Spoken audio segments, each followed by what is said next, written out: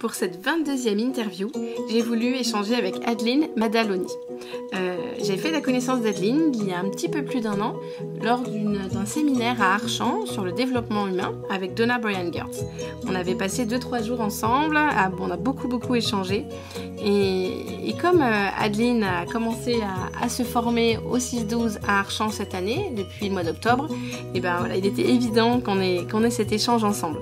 Donc vous allez voir, euh, Adeline nous a parlé de, ses débuts de formation, de tout ce que ça lui apporte pour l'instant, et on est allé sur quelques sujets comme les, tendances humaines, le statut de l'erreur, l'individualisme et les grands récits. Voilà, donc c'était un, un, bel échange et hum, je vous, je vous laisse en profiter. Je laisse place à ma conversation avec Adeline. Bonjour Adeline. Bonjour Céline. Je suis contente de te retrouver. On avait fait connaissance euh, l'année dernière, il y a un an à peu près, euh, quand on est, on, est allé toutes les deux au séminaire de Donna Brian Gertz sur le développement humain. Voilà, on avait pas mal échangé toutes les deux pendant ces deux, deux trois journées. Et, donc j'avais envie de faire un podcast avec toi parce que depuis l'année dernière, il y a eu un grand changement de ton côté. Euh, est-ce que tu veux commencer à nous en parler et te présenter en même temps? Oui, alors merci beaucoup pour l'invitation Céline, je suis très honorée.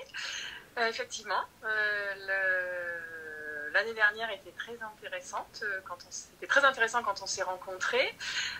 depuis, j'ai validé mon inscription à la formation d'éducateur 6-12 à Archamps. voilà, je suis en reconversion professionnelle. J'étais dans un tout autre milieu auparavant puisque j'étais chargée de communication dans une entreprise qui fabrique de l'énergie en France. Voilà. Euh, j'ai travaillé 17 ans dans cette entreprise et euh, il y a 4 ans à peu près, j'ai eu envie de faire euh, autre chose et de trouver plus de sens à mon activité professionnelle. Et par, par l'intermédiaire de mes enfants, j'ai re-rencontré Montessori parce qu'en fait, j'ai toujours plus ou moins été en contact avec cette pédagogue et avec cette pédagogie, puisque ma mère était formée euh, en tant que jardinière d'enfants en 1972 à Paris à cette pédagogie. Donc voilà, j'ai toujours euh, plus ou moins euh, entendu parler de, de cette pédagogie. J'avais toujours vu du matériel à la maison. Et mes enfants ont pu intégrer une école donc, à Amiens en 2014 et le cheminement a commencé à ce moment-là en 2016, c'est moi qui, ai commencé à me former euh, auprès de, l'association Grandir et Vivre, une très belle association qui permet d'accompagner euh, surtout les mamans, mais pas que. Il y a aussi des papas et des, éducateurs euh, qui travaillent dans des écoles hors contrat. Et puis voilà, et puis je voulais quelque chose de plus global et de et reconnu au niveau international. C'est pour ça que j'ai souhaité euh, intégrer la formation de Archamp. Donc, euh, c'est fait depuis octobre 2019. Voilà. Donc là, tu as eu deux semaines de formation en octobre et une semaine à Noël? Non, février peut-être. Deux semaines en février. D'accord, donc tu as déjà quatre semaines de formation. et hum, par rapport à tes attentes, et voilà, est-ce que tu peux nous en dire un peu plus sur euh, est-ce que ça correspond est-ce que ça correspond à ce que tu avais imaginé euh, Quelles sont les différences? Alors ça correspond complètement à ce que j'avais imaginé, même encore mieux en fait. Euh, complet. On n'en est vraiment que au début, bien entendu, mais on a déjà eu euh, une mise en condition en tant qu'apprenant, un petit peu comme euh, on devra mettre en condition nos futurs euh, enfants, les enfants qu'on accompagnera en, classe, que nous accompagnerons en classe parce qu'il y a tout un, processus à intégrer en rentrant dans cette formation. Euh, ben, la façon dont on apprend, la façon dont on, on, rend les devoirs, quel type de devoirs on rend, comment on les rend, voilà, comment on fonctionne ensemble pendant deux semaines. Et puis après, donc euh, cet été, il y aura sept semaines d'affilée. Voilà, donc euh, il y a une grande partie de, de prise de contact. Et, et, ce que j'ai vraiment apprécié depuis le début et qui continue à, à se faire, c'est l'extrême bienveillance et l'écoute euh, absolue de chacun de nous, en fait, de chacun des stagiaires et même des formateurs. pour qu'on soit le, mieux possible et dans la meilleure posture pour apprendre et pour ensuite être bah, sur le chemin du, meilleur éducateur. Non, il n'y a pas de meilleur éducateur, mais en tout cas du avoir le, la, plus, la, meilleure, euh, le, le, meilleur accompagnement pour, pour, donner le meilleur de nous-mêmes pour pouvoir ensuite guider les enfants. Voilà, c'est ce que mm. je ce que j'apprécie, c'est vraiment la, la, qualité de l'enseignement et la qualité de l'accompagnement. Mm. C'est pour moi c'est pour moi du haut niveau. Mm. Quand on a échangé la semaine dernière par téléphone, tu me disais que c'était il y avait de l'humain à, 150%. Oui, voilà.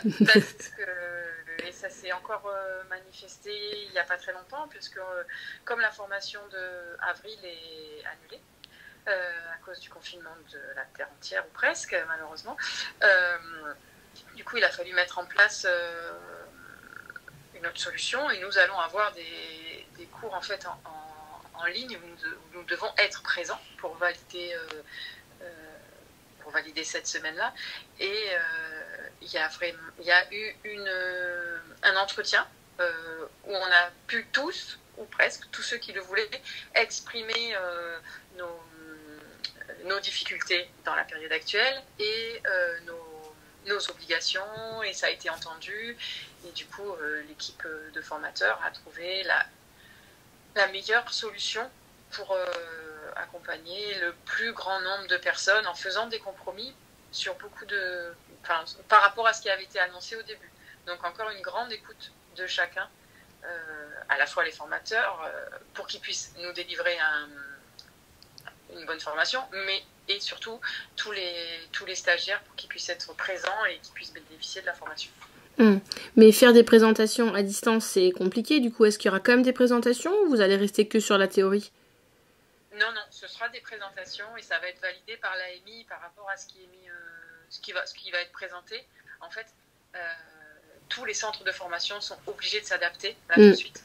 Et, euh, et du coup, euh, ça va être, on va avoir des présentations en, en, direct. Mm. Et ensuite, on va avoir donc cet été un rattrapage de toute la pratique.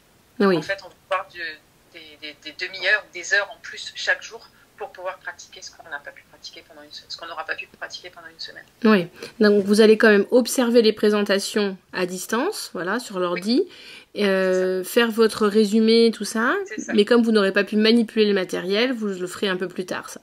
Voilà, c'est ça, la manipulation du matériel sera plus tard. Mais dans cette euh, période vraiment euh, inédite pour chacun de nous, en fait,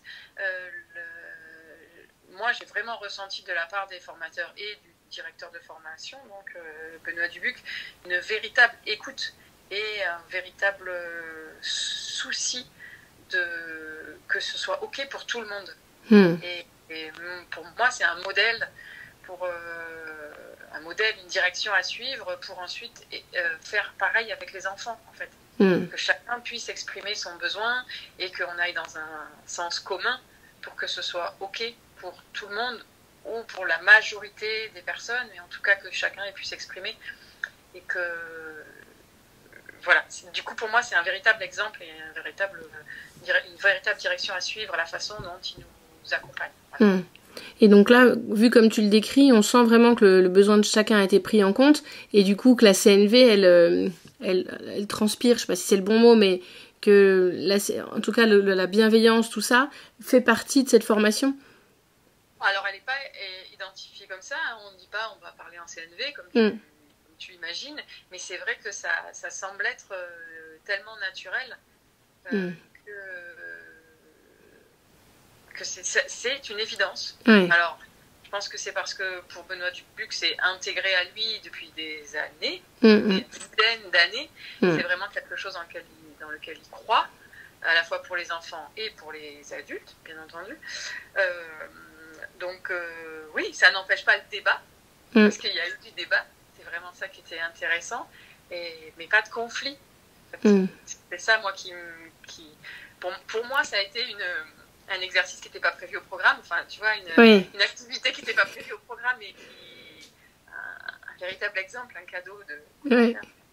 Ça me fait rire parce que quand j'avais interviewé Benoît Dubuc sur le podcast, je lui avais demandé si pendant toutes ces années il s'était formé à la CNV. Et il m'avait dit qu'il avait enfin, qu'il était trop âgé, qu'il avait découvert ça trop tard. Mais en fait, tu sens quand même quand tu lui parles qu'il incarne ça, quoi. euh, oui, oui, oui, oui, je pense. Il n'a pas les techniques, peut-être.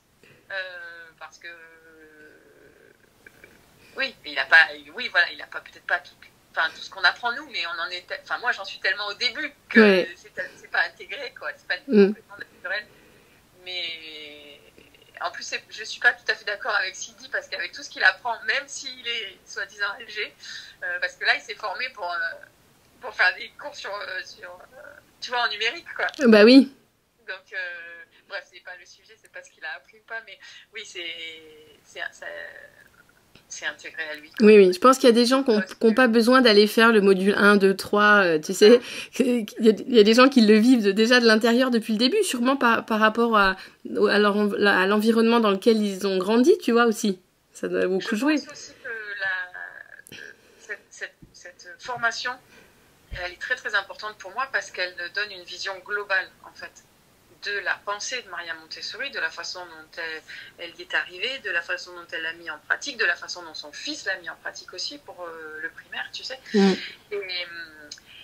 Et, et, cette posture-là de bienveillance, en fait, elle était déjà euh, intégrée à sa façon de voir l'enfant et mm. de voir les humains, puisque de toute façon, son, son leitmotiv, c'était la paix. Bah oui.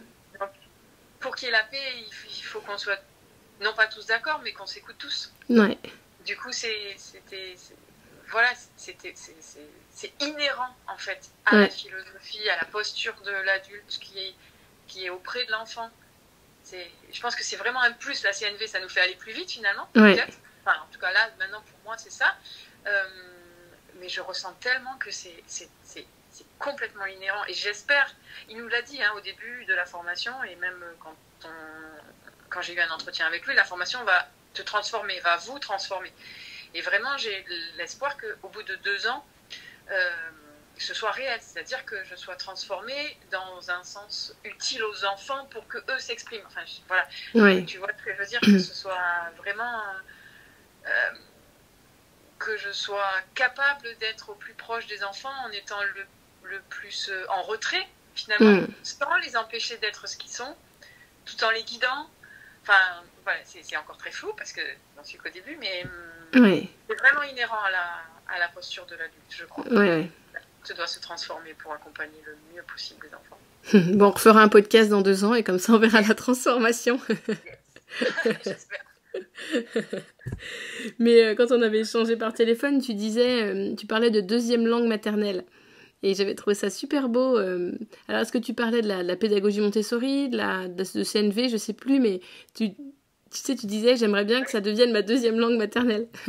Ben, en fait, je parlais, je parlais de la CNV et, et je, je faisais un, un, rapport dans ma tête avec euh, le premier moment où moi j'ai rencontré ça, c'était à la fois avec euh, Gordon et avec Faber et Maslich, où elles disent ben oui, cette façon d'aborder les enfants, c'est pas, c'est, pas notre langue maternelle. Et, et c'est vrai que j'aime, j'aimerais, c'est un long chemin, euh, j'aimerais que la façon d'être aux autres, au monde, et peut-être en premier à moi-même, ce soit plus communication non violente. Oui. Euh, ouais, j'aimerais même que ça devienne ma première langue.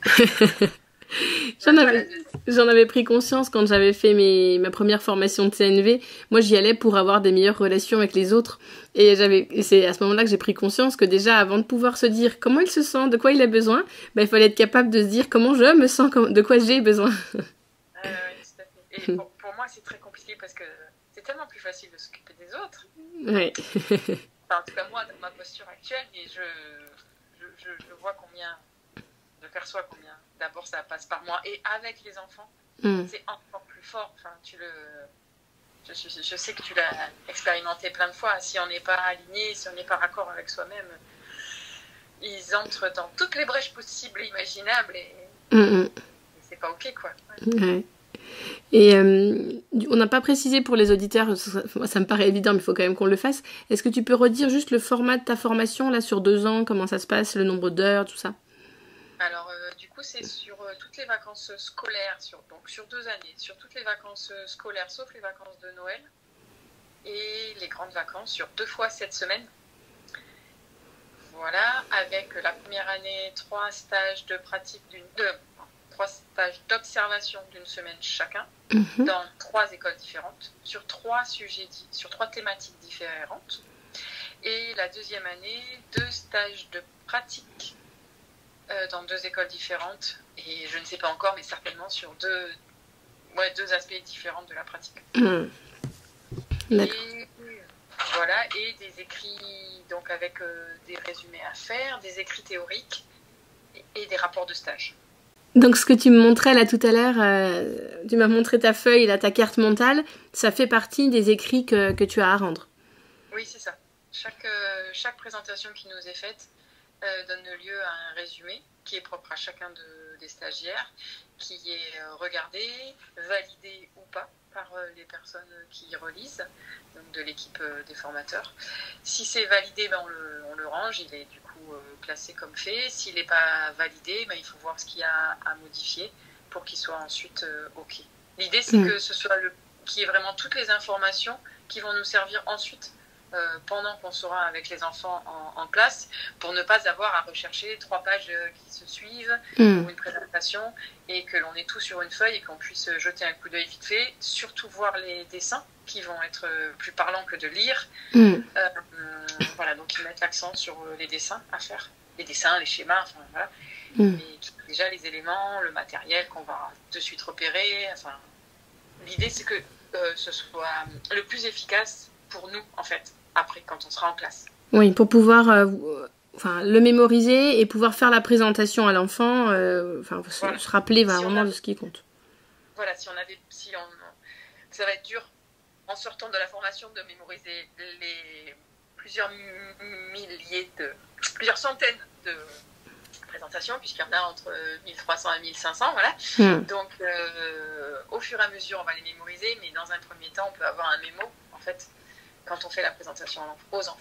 Oui, donc du coup, ce que tu m'expliquais, c'est que pendant la présentation, vous êtes vraiment euh, bah, comme un enfant, vous observez, euh, voilà, vous observez et vous, vous c'est la, enfin, la seule chose entre guillemets que vous avez à faire. Vous utilisez que ce sens-là, la vue, et après. Euh, on aussi. Et... On prend des notes. Ah, vous prenez des notes quand même pendant la présentation? D'accord. À l'écrit, à l'écrit et pas sur ordinateur, pour que ce soit la main qui travaille. D'accord. Ah oui, ça, je croyais que vous le faisiez dans un deuxième temps vous prenez des notes quand même, et ensuite il vous donne un résumé à l'écrit, mais vous, enfin, vous êtes engagé activement, puisqu'à un moment, c'est à vous de le refaire par vous-même, quoi. C'est ça. Parce qu'on pourrait se demander pourquoi il vous donne pas tout par écrit, et puis c'est bon, quoi.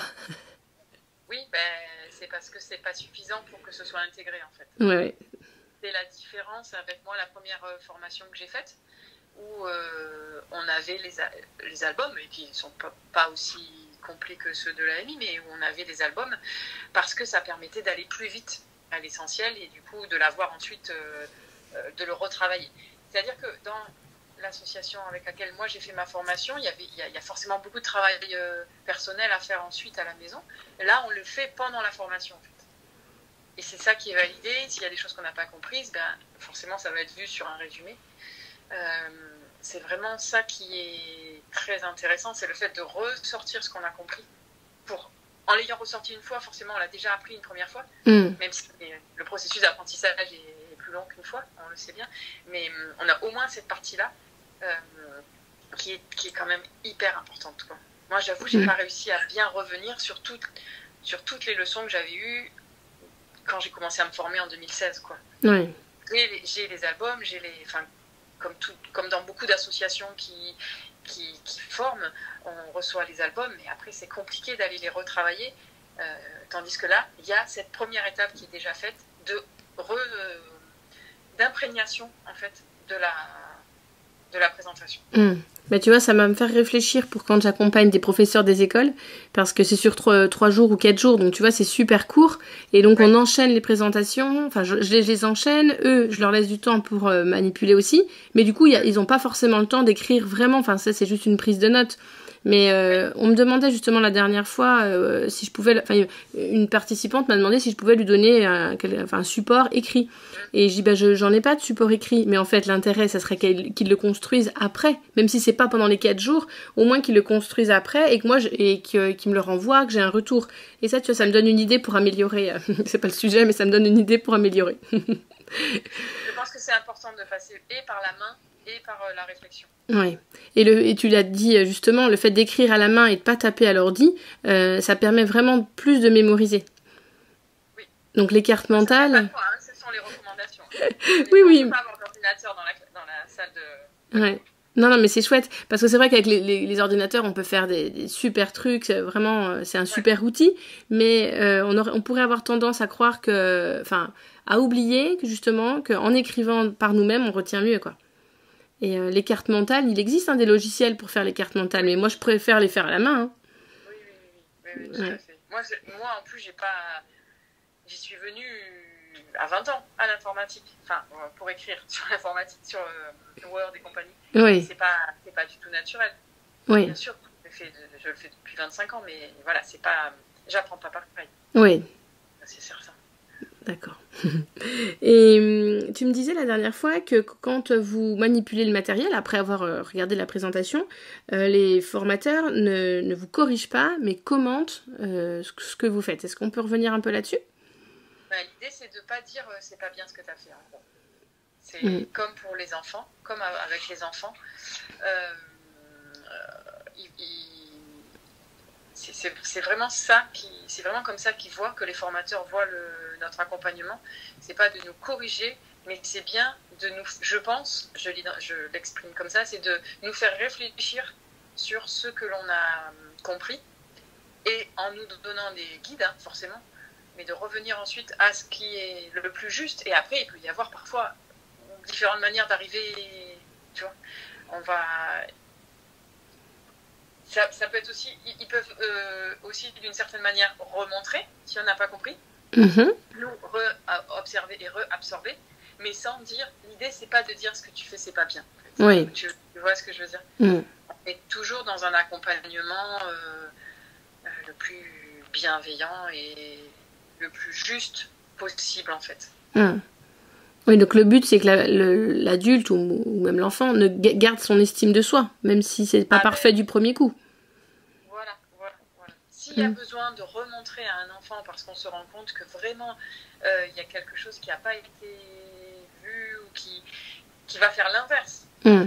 de, l'objet de la présentation, de l'objectif de la présentation, alors là, on va reprendre on va prendre l'enfant à part. Euh, en à l'école primaire, souvent les présentations se font en groupe parce que tu sais, ils ont besoin de développer leur sens social.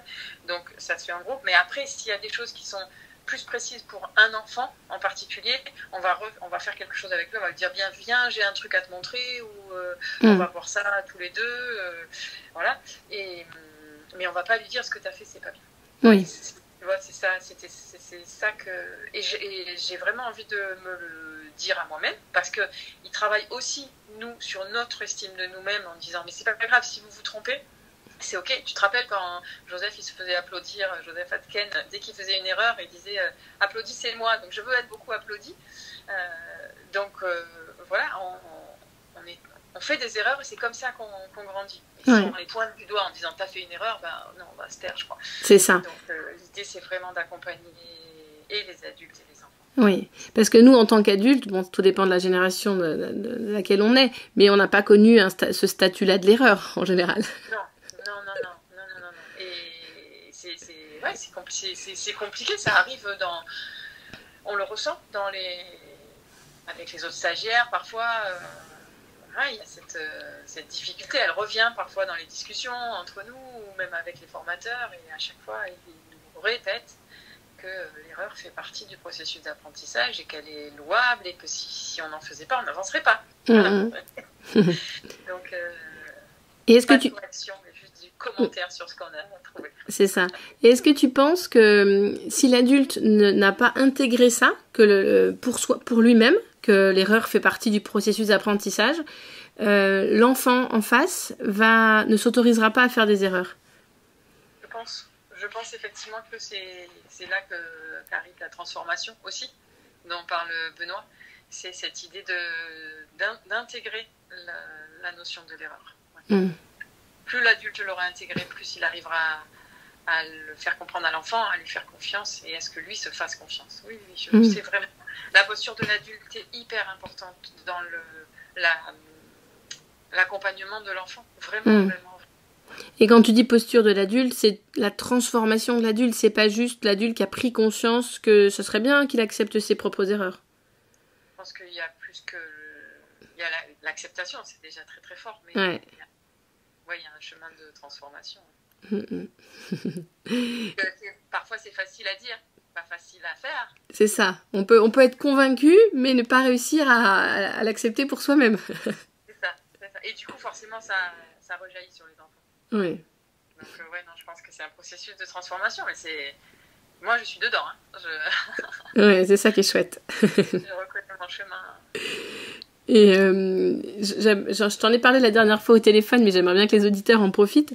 Euh, j'ai une euh, personne qui m'a répondu par mail, enfin qui m'a envoyé un mail pour me dire oh c'est plus la peine de m'envoyer vos messages parce que pour moi Montessori euh, c'est l'individualisme et, et, et ça m'a fait bondir forcément. Je me suis dit mais je vais faire un podcast moi toute seule pour lui répondre à cette personne.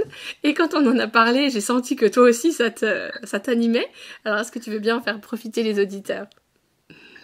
Parce que j'ai déjà été confrontée, euh, non pas moi en direct, mais euh, une amie qui, m'a dit qu'elle avait eu cette phrase, en fait. De toute mm. façon, Montessori, euh, c'est individualiste.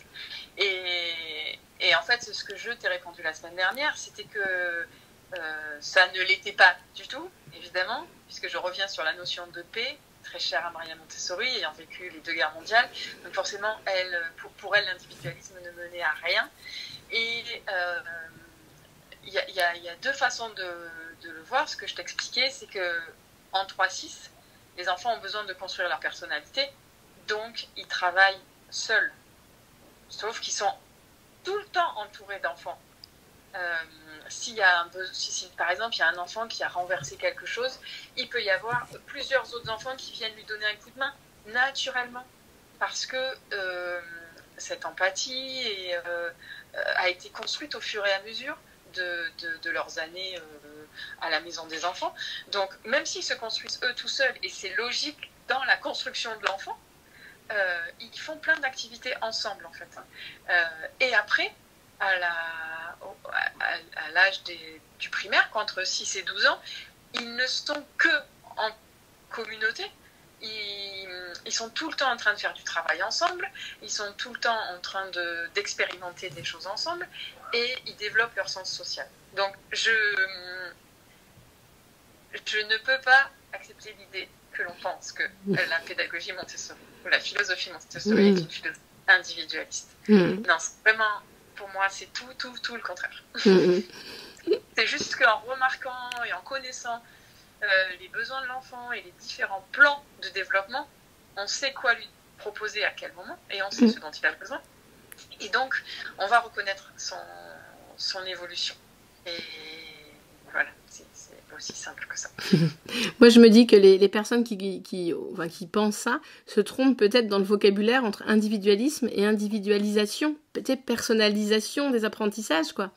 Peut-être, peut-être que ça n'en est qu'à là, parce que là, pour le coup, oui, on suit vraiment, tu le sais très bien, on suit le rythme de l'enfant, et, euh, et forcément, c'est un accompagnement individualisé. Ouais. mais pas pour renforcer l'individualisme. Non, certainement pas. C'est tout l'inverse. C'est tout l'inverse. Et puis ça continue après avec l'adolescence. Et puis les jeunes adultes, c'est pareil. Quand ils ont évolué dans un monde, une ambiance, un environnement Montessori, ce sont plutôt des jeunes qui, qui sont très sociables, qui s'investissent euh, dans, des, dans les clubs au collège, euh, qui... Euh, non, vraiment, c'est pour moi, c'est antinomique. Bah oui de la philosophie Montessori. Ouais. Quelqu'un qui dit ça, ça prouve vraiment que c'est enfin, une fausse croyance tellement, tellement énorme que ça prouve que la personne, elle, elle, y connaît rien, quoi. Bah, en tout cas, peut-être qu'il faudrait lui, parler en direct. Je ne me permettrai pas de dire qu'elle n'y connaît rien. Ok. Et hum, du coup, oui, vraiment, euh, dans la pédagogie Montessori, on respecte vraiment le rythme de l'enfant et les plans de développement ont vraiment euh, beaucoup d'importance. Est-ce que tu peux nous reparler un peu du 3-6 et du 6-12 euh, par rapport à ce que tu connais? Oui, c'est un peu vaste, mais écoute, je vais te dire ce que je ressens de ta question. Pour le 3-6, on répond vraiment aux périodes sensibles de, l'enfant. Et on va du coup euh, proposer du matériel euh, de vie pratique, de vie sensorielle, puis du langage, puis des mathématiques et de la culture. Voilà.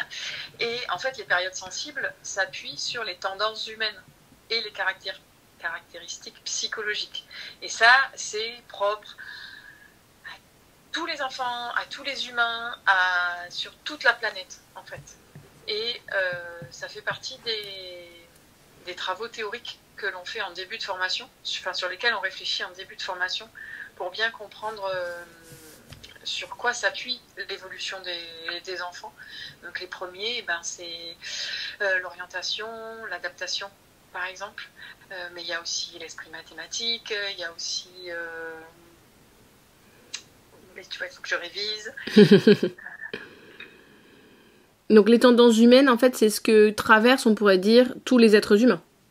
En fait, c'est ce qui constitue tous les êtres humains. Ouais, ce qui constitue. Ouais, enfin, je le dis avec mes mots. Hein, oui, oui. J'entends, je comprends tout à fait ce que tu veux dire. Par exemple, là, dans la situation que l'on vit actuellement, mm. l'être humain est obligé de s'adapter. Dans un premier temps, il faut qu'il s'oriente et il faut qu'il explore. Il faut qu'il s'oriente dans un, à nouveau dans un, enfin, dans un espace contraint et il faut qu'il explore du coup ce qu'il peut faire dans cet espace contraint. Mm. Donc on est vraiment là en ce moment en train d'expérimenter euh, des tendances humaines euh, qui sont propres à chacun. Et là sur la planète, on est plusieurs millions d'humains à le, à, le vivre. Mm. Voilà. Donc c'est ce qui constitue, du coup je reprends le mot, ce qui constitue les êtres humains et du coup de la naissance à la, à la mort en fait. Voilà. Donc euh, c'est là-dessus que s'est appuyé Maria Montessori et Mario Montessori pour expliquer à la façon de, de, voir l'accompagnement des enfants. Et du coup, pour les, pour les enfants de 6 à 12 ans, il y a l'importance de l'instinct grégaire qui fait qu'ils ont besoin de travailler en commun, euh, en petits groupes, hein, mais quand même en commun. Tout seul, c'est assez rare, ça les motive pas assez, tu vois. Euh, le besoin d'imagination, enfin le besoin, la tendance à l'imagination, qui fait qu'on va être tout le temps en train de leur raconter des histoires mm. pour les intéresser. Euh, quand tu parles des histoires, tu parles des grands récits? Alors, il y a les grands récits, mais en fait, euh, il faut presque être un conteur pour être un, guide en 6-12. Parce qu'à tout, tout le temps, tout le temps, tout le temps, dans chaque présentation presque, tu peux faire tu peux raconter une histoire. Des petites histoires, hein ouais. Les grandes qui sont fondatrices et puis qui orientent après sur le travail, et puis euh, bah, sur, sur plein de choses, sur plein de choses. L'histoire du zéro,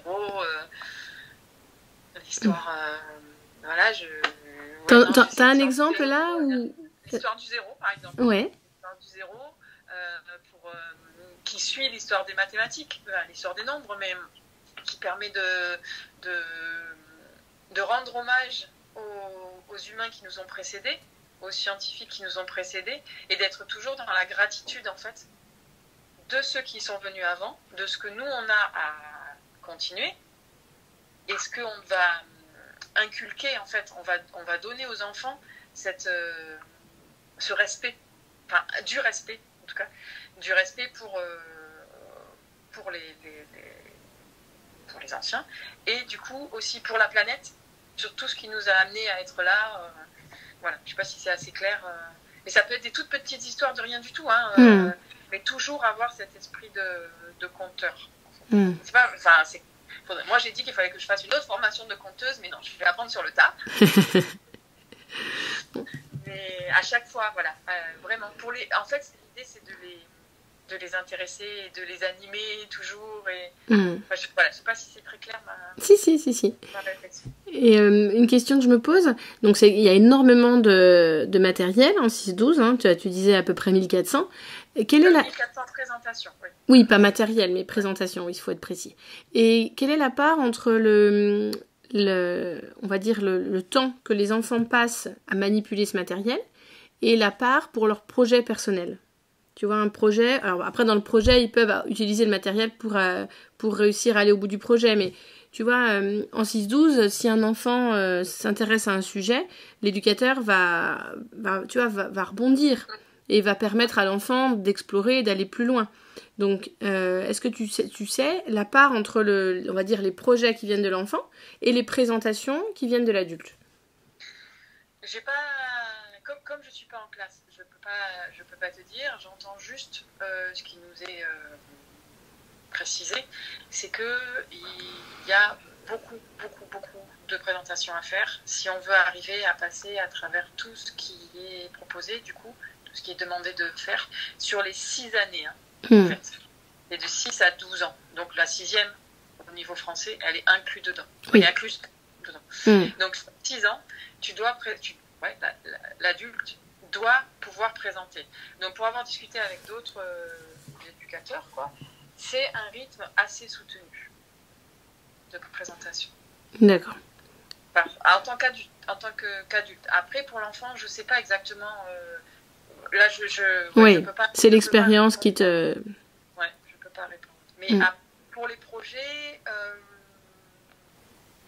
pour les projets, il y a, y a, y a, ce sont beaucoup les exposés les exposés, mm. les petites sorties, euh, qui sont plus de l'ordre de, ce dont ils ont envie, euh, qui peut être un peu décalé des, présentations. Mais du coup, ouais, je peux pas te donner un pourcentage. Mm, mm. Je sais pas. D'accord. Oui, tout à l'heure, on parlait des grands récits. Tu sais, tu disais qu'il y avait beaucoup euh, d'histoires en 6-12. Est-ce que tu as déjà eu l'occasion de, de, travailler sur les grands récits pendant tes quatre semaines de formation?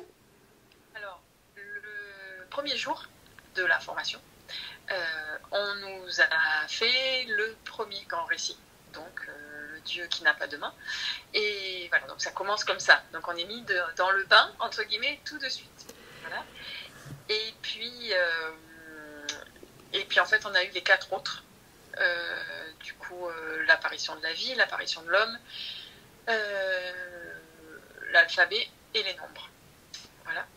Et en fait, euh, l'idée de ces grands récits, c'est de les faire au début d'année, au début de chaque année, même si les plus grands, ils les connaissent. Il paraît qu'ils viennent quand même écouter et puis qu'ils disent Ah, mais tu n'avais pas dit ça la dernière fois. Hmm.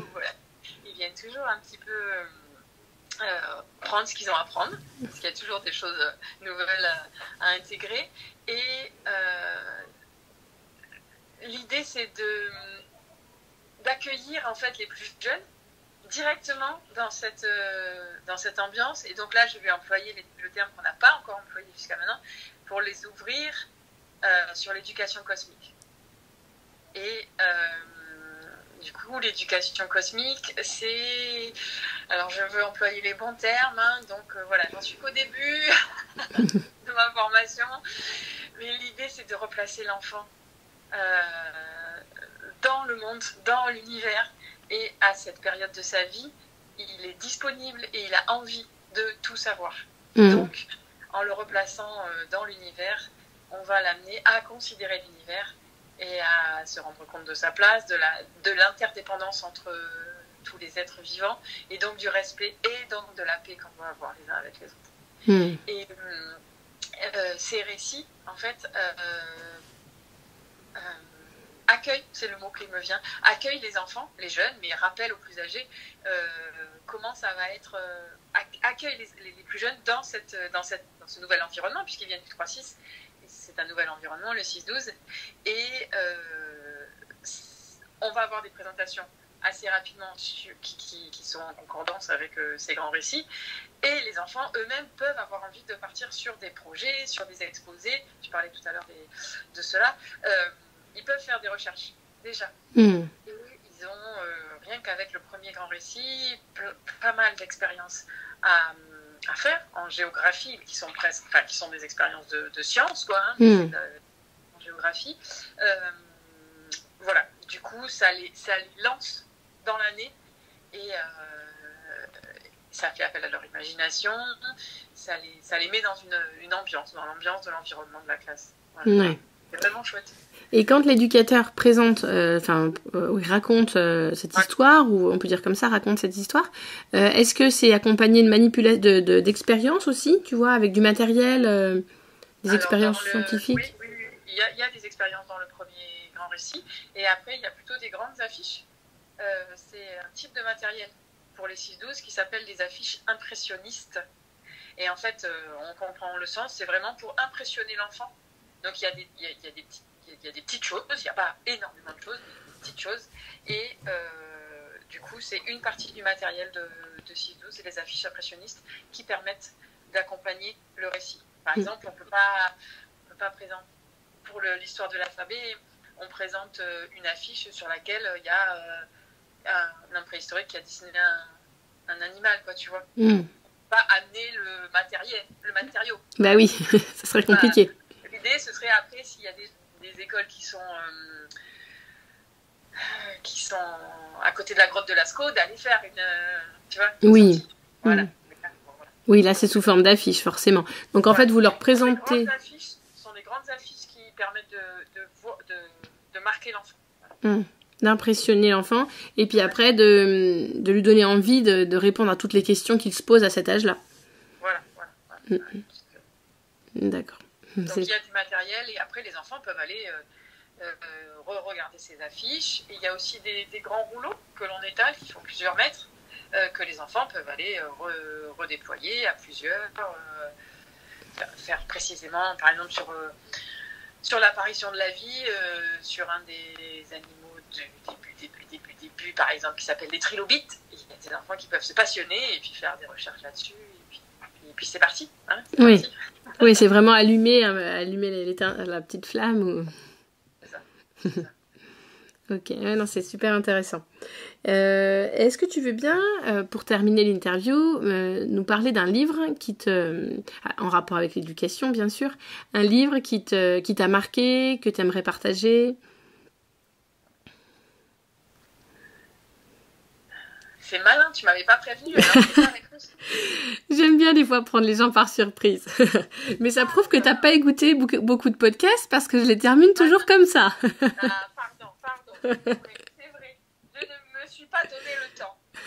justement, ben, justement c'est parfait parce que en fait, celui qui m'a marqué et qui, je sais, t'a marqué toi aussi, c'est celui de Donna Gertz. Et, et vraiment, donc, euh, quand l'école s'adapte aux enfants, donc, euh, moi, j'en ai entendu parler lors de ma, formation avec euh, l'association Grandir et Vivre, euh, mais je ne l'avais pas lu encore. Je l'ai lu l'année dernière, donc à l'issue de notre super séminaire en février 2019. Je l'ai lu une fois, je l'ai relu il y a deux mois, et, vraiment, j'ai senti une telle une telle foi que j'avais déjà ressentie en voyant l'autrice de Daggers, en voyant l'auteur euh, s'exprimer. À l'âge qu'elle a, avec son expérience, j'ai vraiment senti une croyance en l'enfant, évidemment, en l'humain en général, et euh, une confiance, euh, une oui, foi, confiance, croyance, tout, tout à la fois, et une telle énergie et beaucoup de joie. Et je l'ai vraiment retrouvé dans, à la lecture et en fait, j'ai fait une expérience. J'ai été euh, bénévole pendant une année euh, lorsque j'ai réfléchi à me réorienter. J'ai travaillé une année complète, donc dans une petite école qui ouvrait, avec des enfants qui avaient, qui venaient d'un autre monde que Montessori, et euh, et ça a été très très très très difficile pour moi, puisque pour le coup, je pense que j'étais pas assez alignée, centrée, tout ce qu'on veut, pas assez sûre de moi, et c'était difficile aussi pour eux. Et en lisant comment Donna Gertz a réussi à, pas transformer, mais à accompagner, je dis encore ce mot-là, à accompagner les enfants qui étaient peut-être pas tout à fait dans le cadre et pas tout à fait dans le moule, euh, ça me donne une, un espoir hallucinant. Euh, mm. euh, pas, pas, de pression, mais un chemin, voilà, une direction à suivre parce que c'est possible même si je sais qu'elle a l'expérience derrière et que donc euh, les cas qu'elle décrit sont arrivent après après beaucoup beaucoup d'essais et d'erreurs évidemment mm. mais ça ça me donne vraiment confiance et je sais pourquoi je suis dans cette formation et ce que j'ai envie de faire des prochaines années de ma vie. Voilà, donc c'est celui-là. Ouais, c'est chouette. C'est chouette que tu en parles parce que c'est le tout premier livre que j'ai lu. Et euh, il m'a tellement marqué que j'avais commencé à le prêter à toutes mes collègues en leur disant lisez ça, lisez ça. Mais voilà, c'est exactement ce que tu décris, la foi en l'enfant, quoi. Un enfant qui rentre pas dans le moule et qui a un comportement, tu vois, plutôt plutôt que de se dire euh, oh, mais je peux pas garder cet enfant, c'est pas possible, c'est trop dur. Elle trouvait toujours des moyens pour que pour pour montrer aux enfants qu'elle les aimait et qu'ils avaient leur place, quoi. C'est ça. Et, euh, même que les autres enfants qui sont plus adaptés, on va dire, euh, soient en difficulté pendant un temps. Euh, mais c'était ça, ça, ça, les fait grandir eux aussi. Et c'est vraiment important de se rappeler ça, qu'en en fait, on est tellement tous interdépendants que ce qui se passe pour l'un se passe pour l'autre. Et mais c'est très, je, pense que c'est compliqué d'arriver à ça. Et voilà. Mm-hmm. un objectif pour moi. Mais je pense que personne n'avait encore cité ce livre dans les podcasts. Ah, Donc c'est chouette que tu parles de celui-là. Donc le titre c'est euh, Quand l'école s'adapte aux enfants, Donna Brian Gert. Voilà, si vous voulez le retrouver. Et alors je te prends un peu de cours du coup, mais est-ce que tu aurais une citation? Est-ce que, est que tu aimes les citations? Est-ce que ça te... Euh, alors oui, j'en avais, j'en ai une. Euh, du coup, bah, la citation que j'ai faite mienne depuis une dizaine d'années, c'est celle de Gandhi, qui est Soyez le changement que vous désirez voir en ce monde. Et pour terminer, est-ce que tu veux nous partager un coup de cœur ou un coup de gueule concernant toujours notre sujet, évidemment? Non, pas de coup de gueule, parce que je. Pour mon équilibre personnel, je limite les coups de gueule. Alors, un coup de cœur. Même si j'en ai plein, hein, mais bon, bah écoute, je vais revenir à ce que je te disais un peu tout à l'heure sur la façon dont, on arrive à se dépêtrer de, de l'annulation de notre formation d'avril en fait. Euh, je suis vraiment euh,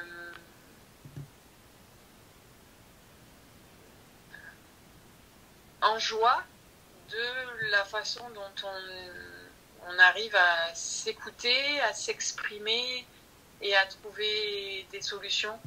Ça me montre que c'est possible. Euh,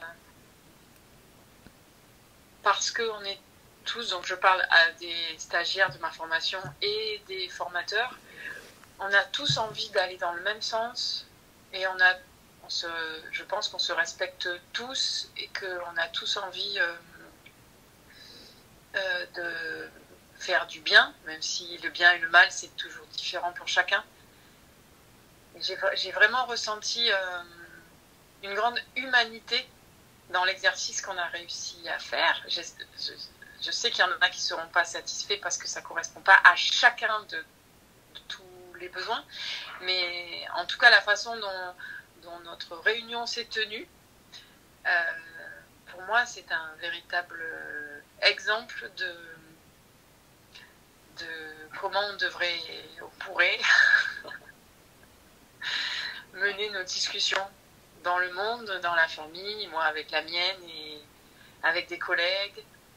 Euh, écouter chacun, rester ancré sur euh, ses valeurs, là les valeurs de, de qualité de la formation, le respect des besoins de chacun. Genre, on va pas faire une formation à 22 heures, c'est juste pas possible. Entendre qu'il y a des, des, éduques qui sont déjà au taquet parce qu'il faut qu'elles fassent le suivi pédagogique, qu'elles s'occupent de leurs enfants, qu'elles s'occupent de leur école et qu'en plus qu'elles fassent la formation, qu'ils fassent la formation. Donc, euh, les formateurs ont réussi à entendre tout ça sans s'énerver et en restant alignés avec un objectif commun qui est de nous faire grandir, nous stagiaires, euh, tout en respectant eux leurs besoins humains, physiques, quoi, leurs besoins de base. Et ben ouais, c'est un grand coup de cœur, un, grand modèle de, de réunion, d'humanité. D'humanité, ouais. C'est une belle conclusion. Merci. Bon, ben on se dit rendez-vous dans deux ans alors. ah ben oui, hein, volontiers. Et puis avant. Hein. Merci Adeline et à bientôt. J'espère que cette interview vous a plu. Euh, n'hésitez pas à me laisser des, commentaires, euh, me poser des questions, voilà, si vous en avez. Je pourrais euh, les poser pour les prochaines, aux, prochaines personnes que je vais interviewer. Si vous avez envie aussi, je ne vous l'ai jamais proposé, mais si vous avez envie que j'interviewe une personne en particulier, eh ben faites-moi le savoir. Et pour soutenir le, podcast, je compte sur vous pour le partager, en parler autour de vous et cliquer sur les 5, 5 étoiles si vous écoutez avec Apple Podcast. Je vous dis à vendredi prochain.